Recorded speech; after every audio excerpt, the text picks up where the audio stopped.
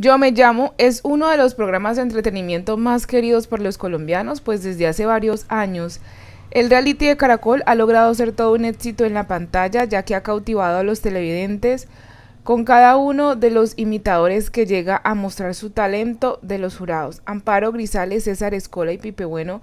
Sin embargo, en los últimos días de reality ha sido el centro de las polémicas debido a los comentarios de Amparito. La imitadora de Rosalía por su peso, catalogándola como gordofobia, tanto así que la actriz tuvo que salir a defenderse.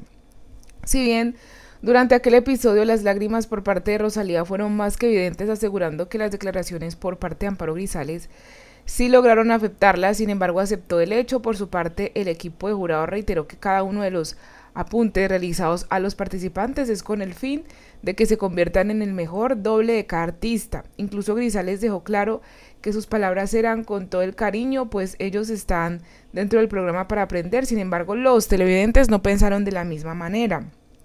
Precisamente después de la ola de malos comentarios que recibió Amparo, incluso donde varios pidieron su salida del reality, la actriz utilizó las redes sociales para referirse al tema, pues al parecer se cansó de las críticas y también decidió aclarar la verdadera perspectiva de esta situación por medio de su cuenta de X. La manizaleña le reiteró, yo me llamo es un concurso donde busca el doble apto, es por su salud y porque se sorprenderán cuando vean a Rosalía Delgada, al igual que su artista favorito.